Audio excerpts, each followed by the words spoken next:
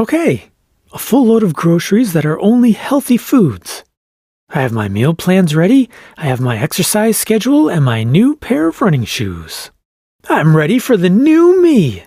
Just a couple more weeks to work through all the